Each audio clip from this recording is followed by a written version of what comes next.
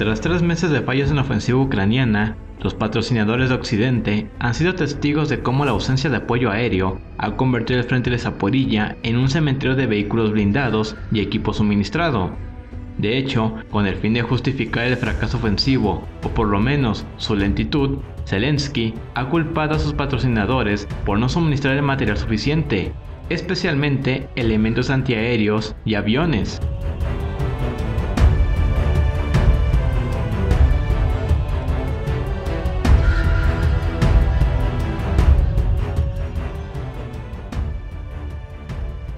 Como respuesta a esa situación, Dinamarca y los Países Bajos han llegado a un acuerdo, respaldado por Estados Unidos, que finalmente autoriza el despliegue de casas F-16 hacia Ucrania.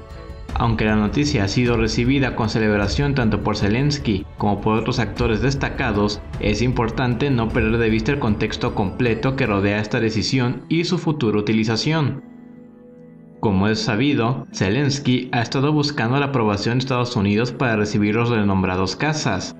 En la primavera de 2023, Dinamarca y los Países Bajos formaron una coalición con el propósito de capacitar al personal ucraniano en operación de los F-16. Esta iniciativa se desarrolló mientras la OTAN y Estados Unidos deliberaban sobre si proporcionar o no esos aviones a Ucrania. Hace unos días, Estados Unidos tomó una decisión y aprobó el envío de los casos a Ucrania. Wopke Hoekstra, ministro de Relaciones Exteriores de los Países Bajos, expresó, Damos la bienvenida a la decisión de Washington de allanar el camino para enviar aviones de combate F-16 a Ucrania. Por su parte, el ministro de Defensa danés mencionó que están discutiendo con aliados cercanos sobre la posibilidad de donar aparatos después del entrenamiento. Estados Unidos está evaluando y aprobando estas solicitudes con la mayor celeridad posible. La intención es garantizar que, una vez que los pilotos ucranianos completen su formación, se asignara el número adecuado de aviones a la Fuerza Aérea Ucraniana. Hasta ahora, Dinamarca se comprometió a proporcionar 19 casas, mientras que otros países aún no han confirmado la cantidad debido a procesos de modernización, como Holanda, o evaluación de sus arsenales, como Dinamarca. Sin embargo, se rumorea que al menos 50 casas están en la lista de espera para su aprobación de envío a Ucrania. La coalición, compuesta por 11 países, tiene previsto entrenar a pilotos a finales de agosto. Según fuentes estadounidenses, se requieren aproximadamente 2.5 años de riguroso entrenamiento para que un piloto de F-16 esté completamente capacitado. En este periodo, el piloto aprende no solo a manejar el avión, sino también a comprender sus sistemas, capacidades y su rol dentro del sistema de armamento, así como adaptarse a diversas circunstancias. La coalición planea condensar este entrenamiento en seis meses para los pilotos ucranianos. Sin embargo, aunque existe la posibilidad de que los pilotos ucranianos se adapten en ese tiempo a una aeronave que difiere significativamente de los modelos soviéticos que están acostumbrados a operar, no se garantiza que alcancen el máximo nivel de destreza que pilotos estadounidenses o japoneses. Es relevante recordar que el entrenamiento para un tanque Leopard dura alrededor de 25 semanas o 6 meses, mientras que la capacitación ucraniana se logró en tiempo récord, en 6 semanas o 1.3 meses. Aunque es posible adquirir habilidades para operar el tanque en ese tiempo, existen informes de comandantes que han señalado dificultades en la capacidad de reacción de los tripulantes debido a la brevedad del entrenamiento. Incluso hubo casos en los que conductores reportaron problemas con las marchas, debido a una comprensión insuficiente. Los AMX-10 franceses son otro ejemplo, ya que también hay quejas de que los operadores no comprenden del todo el diseño y características del vehículo, porque el entrenamiento fue veloz y muy resumido.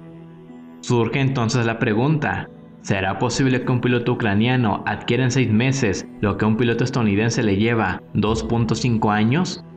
La respuesta podría variar. Es razonable pensar que podría adaptarse al manejo del caza, pero comprenderlo al nivel de un piloto occidental plantea dudas.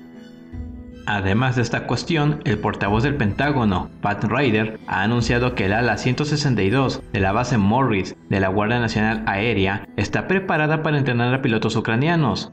Según lo mencionado, los entrenamientos iniciarán en octubre, luego de que los pilotos pasen por un curso básico de inglés durante todo septiembre. A Estados Unidos se suman Grecia, Rumania y Portugal, aunque no se proporcionó información sobre cuándo comenzarán ni cuántos pilotos serán entrenados por estos países.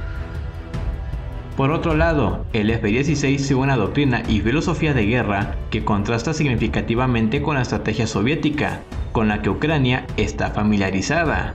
Estos cazas están diseñados para operar un sistema de armas complejo, en el que las fuerzas aliadas aseguran su seguridad y brindan apoyo, esto abarca desde sistemas antiaéreos que pueden enfrentar amenazas a las que el F-16 no podría responder a tiempo, hasta tropas que guíen la aeronave en el campo de batalla para lograr precisión en los objetivos, sin olvidar la logística involucrada.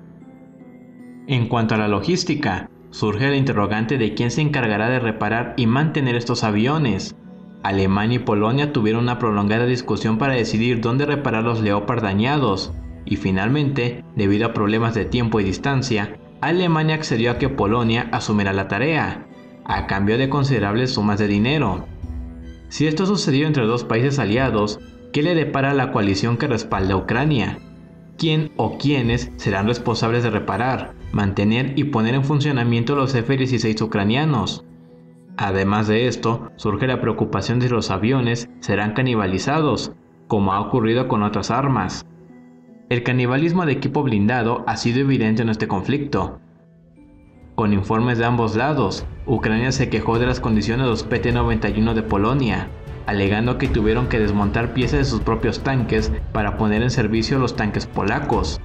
En el Reino Unido, algunos comandantes afirmaron que los Challenger enviados estaban en reparaciones, debido a que algunas piezas eran tan antiguas que se retiraron y no se encontraron reemplazos, ya que muchas fábricas y marcas no producen más estos componentes.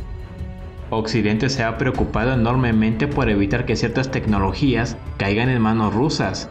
Es indudable que aplicará una estrategia similar con los F-16, retirando módulos o sistemas por temor a que Rusia obtenga estas tecnologías, lo que inevitablemente limitará las capacidades del caza en el campo de batalla.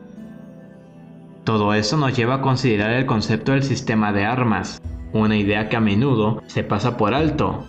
Como hemos mencionado en varias ocasiones, todo este equipo tendrá poco o ningún valor si no se integra en un sistema de armas coherente y efectivo.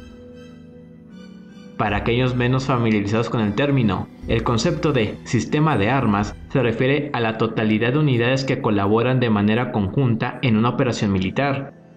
Por ejemplo, en el caso de Leopard 2, su sistema de armas incluye aviones que le proporcionan cobertura aérea y datos críticos para identificar amenazas. También depende de otras tropas terrestres para protegerlo de amenazas difíciles de afrontar por sí mismo, como equipos antitanque ocultos o inaccesibles, vehículos de recuperación en caso de que era inhabilitado, camiones cisterna para repostar combustible, personal de mantenimiento y otros tanques y vehículos que aporten peso en la operación. En el contexto del F-16, su sistema de armas requiere sistemas antiaéreos que lo protejan en enfrentamientos aéreos y de guerra electrónica que puedan desactivar las defensas antiaéreas enemigas. También depende de tropas en tierra para suprimir estas defensas y proporcionar información del campo de batalla, vehículos de mando para recibir datos cruciales, suministros y equipo de reparación, además de infraestructura adecuada. En el caso de los F-16 es necesario tener pistas de aterrizaje, siendo las occidentales más largas que las de diseño soviético. Por tanto, Ucrania necesita adaptar o reconstruir pistas en áreas seguras, pero lo suficientemente cercanas para apoyar operaciones. Otro aspecto clave es la infraestructura de rearme. En pocos meses, Ucrania agotó los suministros de la OTAN y Estados Unidos para la artillería de 155 milímetros, misiles Javelin y otras municiones. Deben enfrentar limitaciones en su capacidad de producción para mantener el suministro constante de proyectiles y misiles. Si esto se repite con las municiones para los F-16, ¿cuánto tiempo durarán? Y, una vez agotadas, ¿cuánto tiempo llevará Occidente reponerlas? Ese escenario añade un nuevo problema para los países que donarán los aviones. Además, los cazas seleccionados para entregar son modelos modernizados a través del programa Mid-Life Update, MLU, implementado entre 1989 y 1997. Estos aviones, principalmente de la serie AB, estaban cerca de alcanzar su límite de horas de vuelo. Algunos pasaron por reparaciones extensivas, y otros por modernizaciones menores. Los modelos disponibles para Ucrania provienen de este programa y no se tiene información sobre el nivel específico de modernización que recibirán. El programa MLU incluye hasta 21 actualizaciones, siendo la M7.2 la más completa y avanzada. En vista de los antecedentes ya explicados, es plausible considerar que las unidades entregadas no alcancen el nivel de modernización deseado. Algunos analistas sostienen que, si Ucrania no recibe un F-16 MLU superior a la versión M6.1, es poco probable que logren obtener ventaja en el campo de batalla. Los modelos anteriores a este paquete carecen de los últimos radares e interfaces que permiten al F-16 mantenerse a nivel o superar a los cazas rusos. Un F-16 M7.2 podría ser capaz de derribar un Su-27 desde una posición segura, fuera del alcance tanto del caza enemigo como de los sistemas antiaéreos rusos, y proporcionar ventajas a las tropas que intenten romper las líneas rusas. En caso de no proporcionar un modelo altamente competente, lo cual es comprensible debido a las preocupaciones de Occidente acerca de la pérdida de tecnología, los F-16 podrían enfrentar un escenario adverso. Aunque pueden eliminar vehículos enemigos o derribar cazas rusos, su mera presencia no tendría un impacto significativo en el equilibrio del conflicto. Sin capacidades adecuadas que contribuyan a socavar a líneas rusas, los F-16 podrían quedar relegados a un simple adorno y un trofeo más para Ucrania. Este asunto trasciende la simple decisión de enviar o no los F-16 a Ucrania y permitir que el país decida cómo emplearlos. En realidad, implica una serie de complejidades que Ucrania debe enfrentar y resolver. Estos aspectos a menudo pasan desapercibidos debido a los prejuicios y a la tendencia de la gente a concentrarse únicamente en las capacidades técnicas de estas armas, sin considerar el contexto subyacente. Como hemos enfatizado desde el año pasado, no existen armas maravillosas en la realidad. Términos como tanque indestructible, buque insumergible o casa invencible solo son aplicables en videojuegos con trucos habilitados. En el mundo real, tales escenarios nunca se materializan. Por lo tanto, más allá de las noticias, hacemos un llamado a comprender todos los aspectos mencionados anteriormente las necesidades de Ucrania para mantener estos aviones, las consideraciones tácticas en el campo de batalla, su capacidad para cumplir con los requisitos de los aviones y los plazos involucrados en cada acción. Es importante no basarse únicamente en las características técnicas que se pueden encontrar en las descripciones en línea. En conclusión, el debate en torno al envío de casas F-16 a Ucrania abarca una serie de factores críticos que van más allá de las capacidades técnicas de las aeronaves. Se evidencia que la efectividad en el campo de batalla no solo depende del avión en sí, sino también de la capacidad de Ucrania para integrar estos cazas en un sistema de armas coherente. Aspectos como la adaptación a la doctrina occidental, la disponibilidad y formación de pilotos y personal de mantenimiento, la infraestructura de operación y rearme, así como las complejidades logísticas, son fundamentales para su éxito. La entrega de los F-16 a Ucrania presenta un compromiso que va más allá del acto de envío en sí. Los desafíos técnicos, operativos, estratégicos y logísticos que enfrenta Ucrania son elementos cruciales para considerar en esta discusión. Con el contexto completo en mente, es vital reconocer que ningún arma es una solución mágica en sí misma y que el éxito en el campo de batalla depende de una combinación de factores interrelacionados.